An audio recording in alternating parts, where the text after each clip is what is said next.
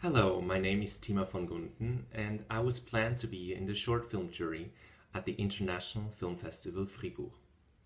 Festivals are a place to cherish art and cherish the unique, reflecting the times we're currently in. And I was hoping to contribute as a jury member to this inspirational melting pot of cinematic culture in Fribourg. It would have been my first time, but it wasn't meant to be.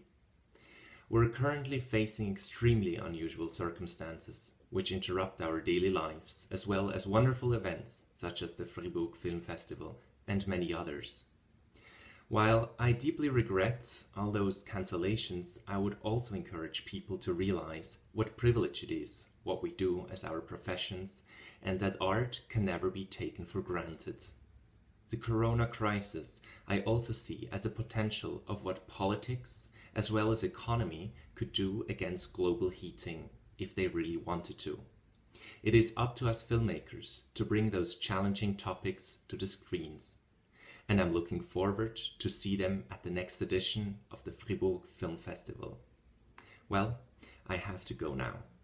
Stay calm and watch movies.